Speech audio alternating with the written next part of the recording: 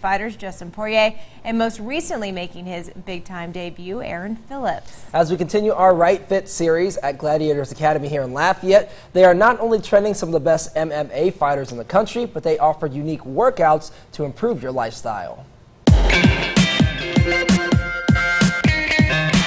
Cross, hook. Good, breathe, breathe.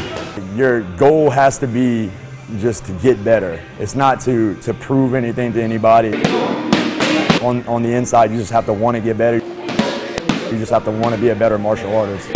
Left foot steps and pivot. Yeah, that's perfect. That was good. That's it. It's Muay Thai for sure. You got to jiu-jitsu. You got to be dedicated. You got to show up to the gym every day. Even if you don't want to show up, show up anyway and try to catch, you know, try to learn something that you maybe you missed the day before.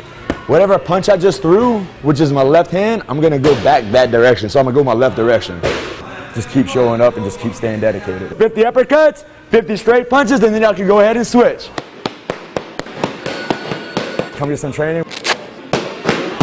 We'll teach y'all how to punch and kick, how to choke some people, you know, do some fun stuff, and get a good workout in, you know. Pop.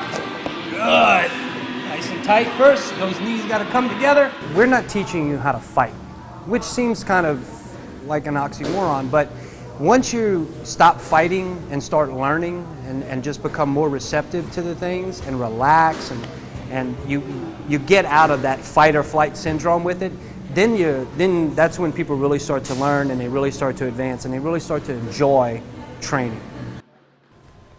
Yeah, and what's great about gladiators is like when you get into the Muay Thai and the Jiu-Jitsu, they really break down the martial arts for you. It's not just running in there and throwing your arms and legs in the air. It's this is how you step, this is how you punch, this mm -hmm. is how you mm-hmm. kick, this is how you grapple. So you know, so you don't hurt each other when you're actually you know sparring and things like that. But it was a great workout, intense. You know, I was feeling it the next day, but it was definitely a lot of fun. Yeah, that's very cool. It, it, I mean the idea of like actually having to fight somebody like that, like mm -hmm. on the ground, yeah, it's it, a little intimidating. yeah, me. you got to get in there, you got to get in close, but you know the guys teach you how to properly do it. And like you said in the package, you know, it's a, a lot of mindset, right. a lot of mind training as well as well as you're getting a full body workout yeah. head to toe. I know, the, yeah, the mind aspect is really interesting.